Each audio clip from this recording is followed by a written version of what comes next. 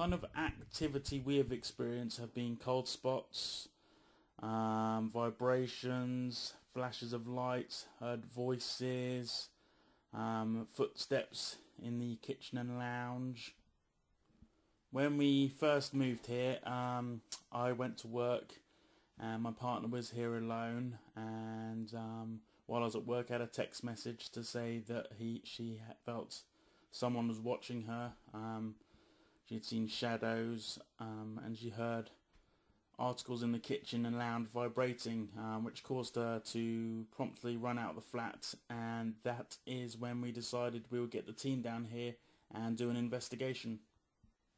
During one of the uh, investigations we had in the flat, we were doing EVP sessions, and we went to do an EVP session in the bedroom, where a fair amount of activity has been witnessed by myself and my partner. Um, went through the EVP, did the recording, and we had a sensitive with us who promptly picked up the dictaphone and went to one of the questions, which I believe was, can you see us? And to our surprise, towards a good seven seconds into the clip, there was a voice that clearly said, yes. What I shall do now is play you the clip so you can all make up your mind of what we were hearing.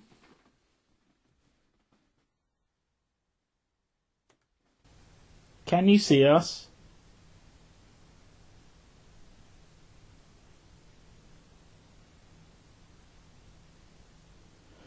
Did you live here? We've had um, a couple of sensitives who've come to the house. Um, I've also got a friend who's a sensitive, and I would have to say that pretty much all three of them have described a shadow or a a dark figure who loiters around the corridor um, in the hallway. Um, and none of them had talked with each other about this. They hadn't spoken to each other before, and I find it quite startling how they have all said that there's a dark figure in the corridor.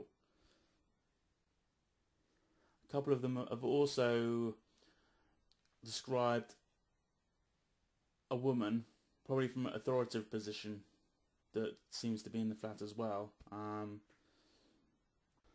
Another incident that occurred was in the bedroom is that uh, my partner and I were both in bed together and we saw two bright flashes of light, almost like balls of light, um, in two different areas of the room, um, which we managed to rule out if it was headlights from passing cars. It was almost like um, very bright ball lightning. Um, I would say if there was a size of the light, I would say probably about a centimetre in diameter just recently I was in the bathroom um, came out of the bathroom and the mirror which is on the wall um, a good six foot from the bathroom landed on my feet um, can't really describe what happened I didn't see it fly off the wall but um, I certainly hear it hit the hit the ground right in front of me and quite startled me um, being an investigator me and my partner were like well you know, how secure was it on the wall?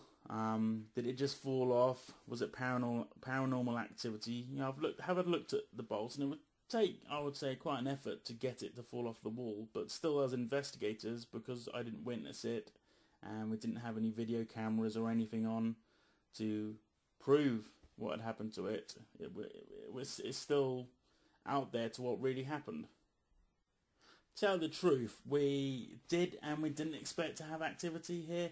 We knew the history of the building um, and the hospital and what it was used for, but as this was a, a completely new build away from the building, we didn't really expect any activity. Um, but sure enough, uh, we were quite surprised, and I hope that the EVP will give some kind of credibility to the hauntings that we're having here.